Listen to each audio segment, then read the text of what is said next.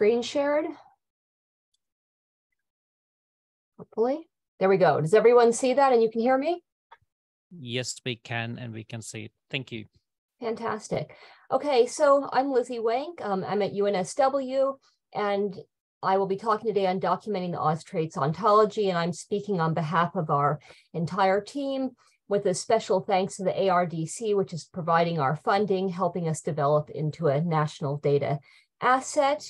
Um, and briefly, I just want to introduce AusTraits, um, Australia's largest plant traits database. And then what I'm talking about today is much like Edmund, a very specific case example, um, rather than sort of a large level under a large level ontology that's very domain specific. So I've been working, and this is still in progress, documenting the Austrate structure in an ontology. And this is very much an exercise in using existing vocabularies to document our database structure, in turn, hoping that we can have a larger impact and have the ontology we develop reused by others. And then secondly, at the very end, I'll touch upon a separate project, which is establishing an Australian plant traits dictionary, merging many existing resources into a unified referenced um, dictionary that's actually missing among plant ecologists. Um, and so in both cases, we're really hoping that by building an ecology, we will be increasing our impact. So why do we need a big plant database?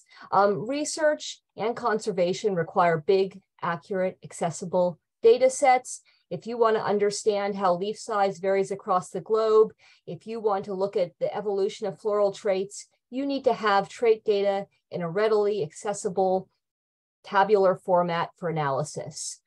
Conservation also depends upon these resources. Following the 2020 bushfires, having AusTraits and being able to rapidly look up which plant species resprouted following a fire and which were killed allowed people to prioritize the use of funding to protect the most endangered species. But as across most disciplines, data in plant ecology is scattered across endless resources in endless formats. And coming from a university background, I know very much that the concept of an ontology is foreign to people. And they're going to much more prioritize their own research agenda to trying to create a standardized output. So we've been hoping to do that through AusTraits.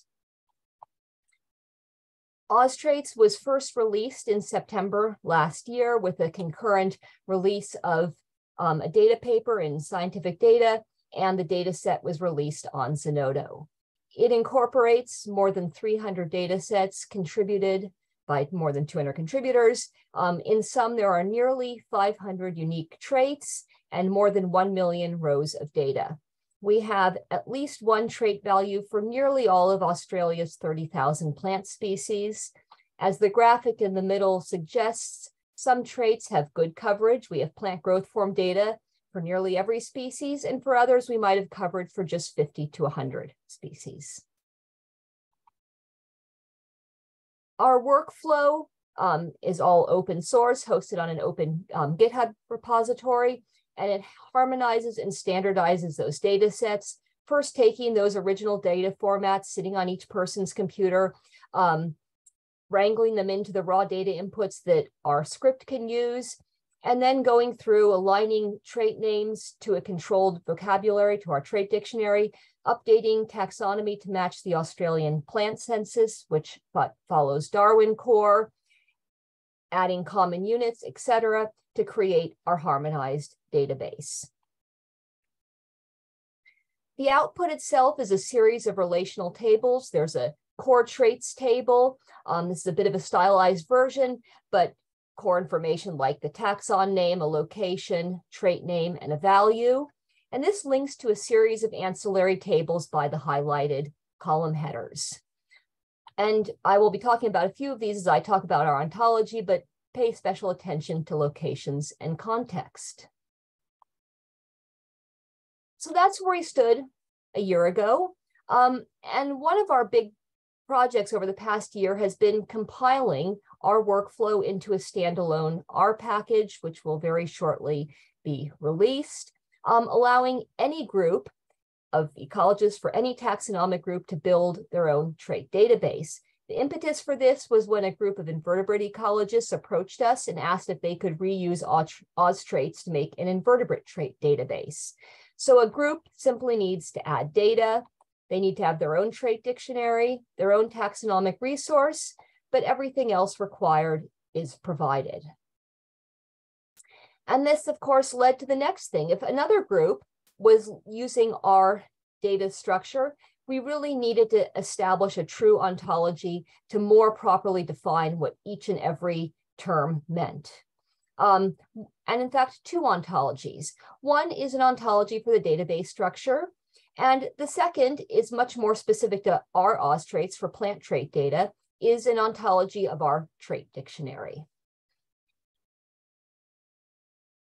Now, I will say that ecologists, the concept of ontology is completely foreign. When I started working on AusTraits, I had never thought about this. And still, when I talk to anyone within our department about what we're doing, they kind of look at us blankly. Darwin Core and taxonomic standards are the only thing that crosses their mind.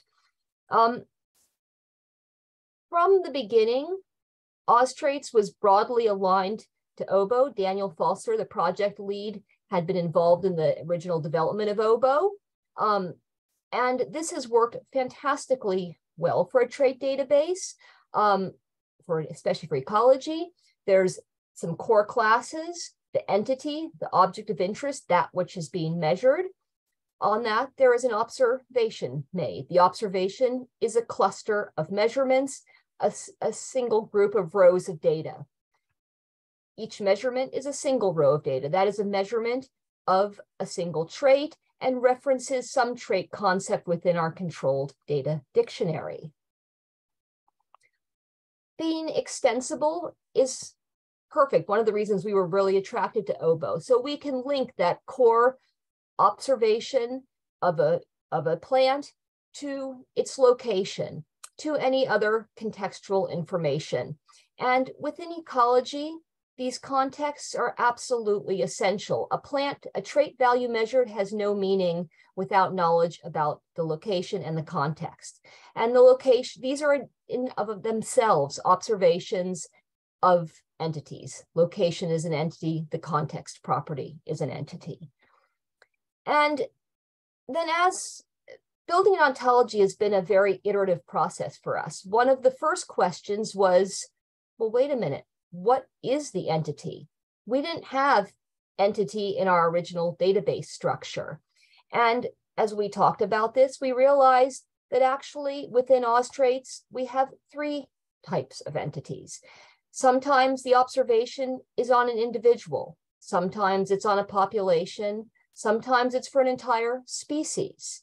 And so we extended the backbone of our, our OBOE ontology such that each of these represents a broader subset, a broader number of rows of data to narrower and narrower groupings.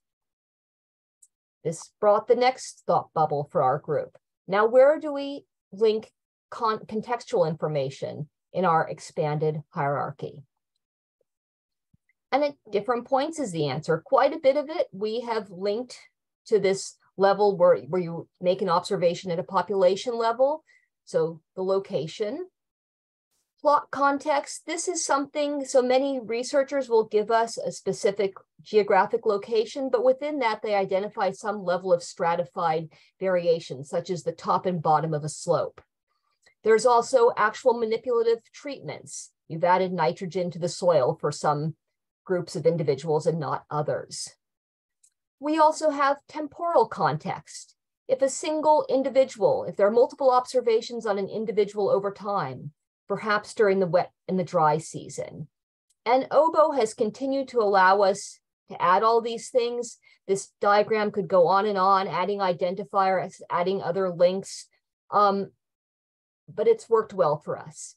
But now I'm going to jump to the process of when we actually look at our output table it also aligns remarkably closely with another ontology that was recently published, the Ecological Trait Data Standard, which is itself an extension of Darwin Core, the well-established framework for biodiversity databases. Um, the Ecological Trait Data Standard has quite similar tables to ours with quite similar um, headers. Ours is actually an extension in that they don't provide the detailed information on locations or context that we are able to capture. So I've taken this and I am very much a novice still and welcome feedback, but I have taken my much more elaborate mind maps than I've shown here and built an ontology in Protege that's consistent with OBOE, the Ecological Trait Data Standard and Darwin Core. It reuses terms from many different ontologies. Among them, all our sources align with BibTeX. Contributors are identified by ORCIDS. The contributor information aligns to DataCite and various other individual terms I have used. We've tried as much as we can to always reuse terms, not developing quite few of our own. Um, the process also, I spent a lot of time looking at three actual database ontologies that build upon OBOE to try and understand how one does this. Um, it's there have been some difficulties and a lot of time spent. I think one of my hardest ones, and this will be familiar probably to many of you in the room, is understanding conflicts between reused terms. So as a, well, the example that's frustrated me the most is that within OBOE, measurement value, the actual value of a trait is a class. Within the ecological trait data, it's a data type property. So ETS, each of their tables is considered a class, but all the columns within them are data type properties. So here I have the same identical concept and a fairly core one for a, for a scientific table, trait value table, um, but they are fundamentally different. Um, and it's been hard for me even to reconcile um, because value is in some ways both. It's the property of a trait, but it also has some of its own properties, units, value type. And of course, since I'm borrowing from these two ontologies to build our own, I sort of need the context around both of these terms. At the moment, they're mapped as equivalent values, which I, I'm quite certain is not an ideal solution. Um, and I guess this is part of a broader tug of war. And it's been very interesting to listen to the talks. Um, as I said, I came at this from the perspective of a field ecologist. And the more I look at ontologies, the more I appreciate them. And they've really forced a lot of semantic clarity in our project. But I also realized that the very simple table format that ETS has is much more approachable to most ecologists. And now for the last few minutes, I'm just gonna jump across to our plant traits dictionary. Um, so for those 500 traits, we have a trait dictionary that's associated with AusTraits. Every trait is defined, allowable trait values um, for a for a categorical trait or ranges for a numeric trait are included. And it's transparent, accessible, and easy to update. Um, I've presented this to a number of international audiences and they've been saying this is now the new gold standard of of a plant trait dictionary. So that's been heartening, but we know it can get even better. Um, and is another resource really needed? Um, and much like with the ontology for the database structure, where we see an ontology being necessary not just for our own database, but to have the actual database structure reusable by other groups, we're also hoping that if we publish a trait dictionary, those definitions can also be more easily reused. Um, and so what's out there? Um, anyone who's a plant ecologist is probably familiar with TRY. It's got at least 10 times as many records as AusTraits does, but it has definitions for only a small subset of its 2000 traits. And from an Australian perspective, it has quite poor coverage for um, traits related to fire, for instance, that are interesting to Australian plant ecologists. There are published publications that are trait handbooks that exist for about 50 traits, but certainly nowhere near 500.